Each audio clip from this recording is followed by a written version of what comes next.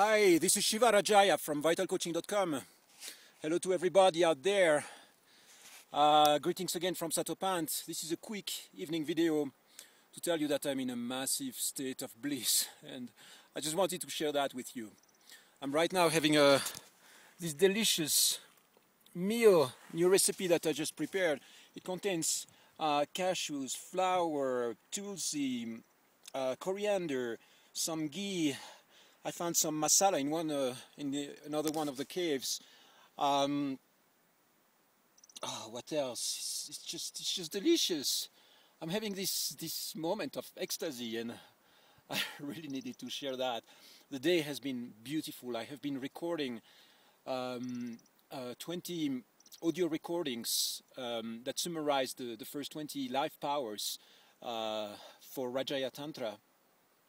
And uh, the inspiration is just pouring in, flowing, flowing, flowing. So every time I finish a set of powers, I realize, oh, there is another set coming in, something that I didn't talk about. So it's something that is going to be a, um, big thing, a good one, you know, a set of uh, probably 50 audios that summarizes all these life powers that I've been working on for, for quite a few years now. Uh, the other thing is that I took a bath there in the lake there, uh, the Satopanth Lake. And yes, what you see down there, that's ice. Uh, it was freezing, as you can imagine, but beautiful.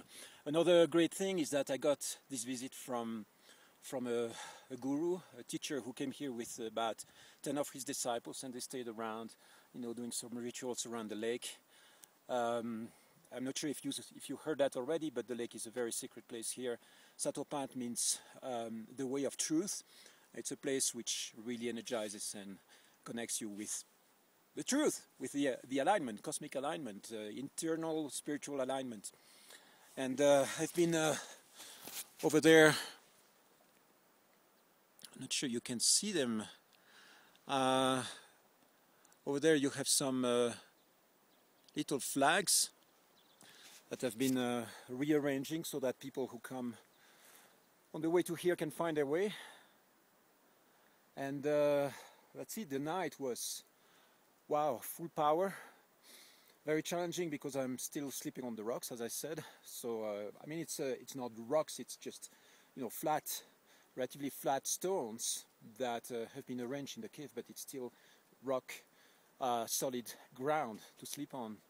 And I'm going back into my cave in a moment to do some meditation and um, some more activation and prepare for the night. The evening is, is great, but as soon as the sun goes down, it's, uh, it's really getting, getting cold, and of course the temperature drops at night, you know, probably like five below, something like that. wow, it feels like today, that's the fifth day that I'm here, and everything is entering to this kind of magic uh, resonance. Um, it's hard to explain, you know, this kind of mystical experience, but it feels like nature is resonating. It feels like magic is taking place, that there is some form of galactic transmission, something going on that is really magical. And I really wanted to share with you. So this is it for now. Take care, lots of bliss, and bye bye.